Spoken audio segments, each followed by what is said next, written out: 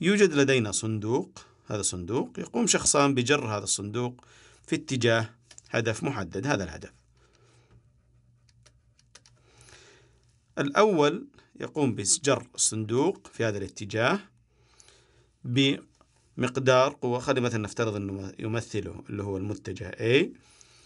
فهذا الشخص يقوم بجر الصندوق بقوة مقدارها طبعا اللي هو يمثله طول المتجه 330 نيوتن وباتجاه يصنع مع الهدف زاوية مقدارها 35 درجة. إذا هذا الشخص الأول. الشخص الثاني يقوم بجر الصندوق بهذا الاتجاه ونفترض مثلا أنه نمثله متجه B ومقدار القوة التي يبذلها الشخص الثاني اللي هو يمثله طبعا طول المتجه B تساوي 300 نيوتن. إذا 300 نيوتن فقط لا غير. وباتجاه تقريبا يساوي 15 درجة عن خط الهدف. السؤال ما هي من من الشخصين A و B الذي فعلا يساهم أكثر يعني يعطي قوة أكثر يعني قوة أكثر لجر الصندوق إلى الهدف. هل هو A أم B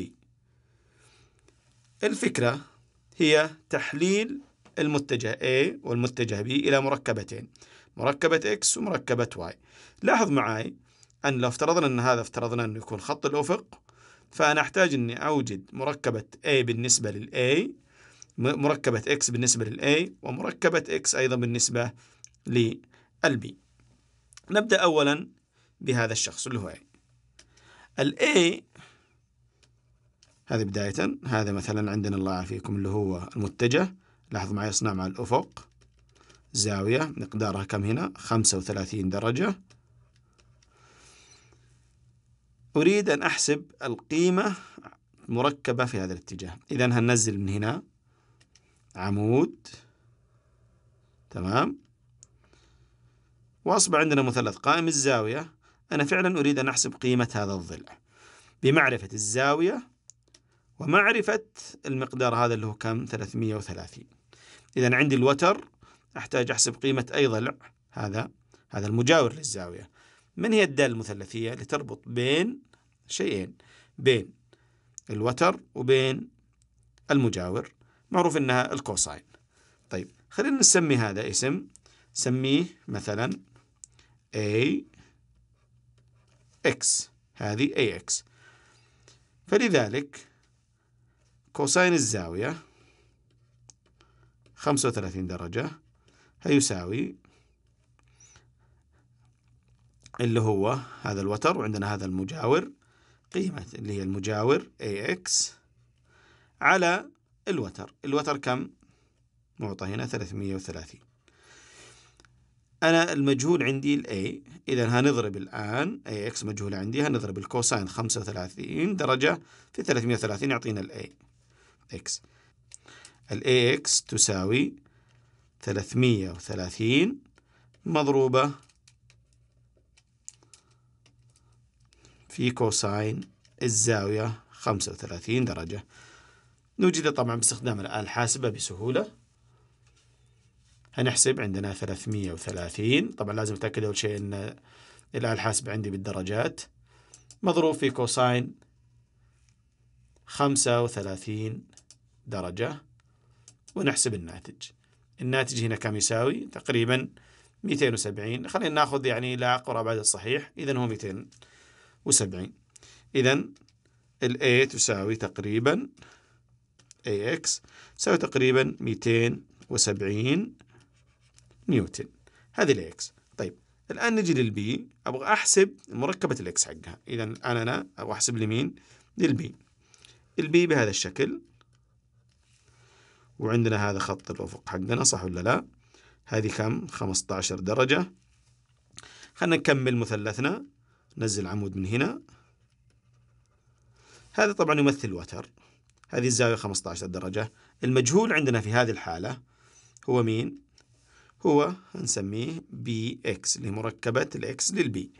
لاحظ معي هذه الزاوية المعطى هنا عندنا اللي كم يساوي؟ اللي هو 300 نيوتن هي ال B. وهو الوتر. أما بالنسبة للمجهول عندنا هو يمثل أي ضلع بالنسبة للزاوية المجاور. أيضا نفس الشيء إذا هنستخدم معناها حنا مين؟ cosine الزاوية 15 درجة يساوي المجاور اللي هو B X على الوتر في هذا المثلث اللي هو كم قيمته؟ 300 نيوتن. ولحساب المجهول B X هنحسب مباشرة يساوي لاحظ معي هنضرب الثلاثة 300 في cosine الزاوية. إذا هيكون 300 مضروب في cosine الزاوية 15 درجة وباستخدام الآلة الحاسبة نقدر نوجده بسهولة. هنضرب الآن 300 3 صفر صفر. هيضرب في cosine الزاوية 15 درجة ويساوي كم طلع عندنا؟ 289 نيوتن. طبعا فاصلة سبعة أنا أبغى أشيل السبعات هذه. إذا ما دام بشيل السبعة إذا معناها لازم أضيف على التسعة كم هنا؟ واحد فتصير هنا 200 وكم؟ 290 إذا ال B X تساوي 290 نيوتن. ماذا لاحظت؟ أول ملاحظة لاحظ معي. عندنا ال AX اللي يساوي تقريبا 270 وال BX طبعا هذا أيضا يساوي تقريبا 290 مين اللي فعلا يعني يبذل جهد أكبر في اتجاه الهدف؟ هل هو ال A ولا ال B مع أن لاحظ معي قيمة ال A أو القوة اللي يبذلها ال A هي 330 القوة اللي يبذلها ال B هي كم؟ 300 نيوتن. مع أنها أقل لكن فعلا فعلا الذي يساهم أكثر في تحريك الصندوق إلى الهدف هو ال B لأنه كم أعطانا هنا؟ 290 نيوتن. هذا السبب. أما الأي هو يبذل جهد فعلا لكنه يبذل جهد أقل في اتجاه الهدف. ولذلك ولذلك قد يكون بعض الأحيان المؤثر ليس فقط اللي هو قيمة أو طول أو مقدار القوة اللي يبذلها الشخص إنما أيضا اتجاه القوة نفسها. طيب كيف نحسب الآن محصلة القوة في اتجاه الهدف؟ بكل بساطة محصلة القوة في اتجاه الهدف اللي هي إحنا نقول محصلة القوة في اتجاه الهدف. هي بكل بساطة تساوي مجموع AX مضاف إليها اللي هو BX ويكون الناتج في هذه الحالة 270 نيوتن زائدا 200 270 زائدا 290 400 يعني 500 وكم 560 نيوتن. وهذه هي القوة المبذولة فعلا في اتجاه الهدف. وشكرا.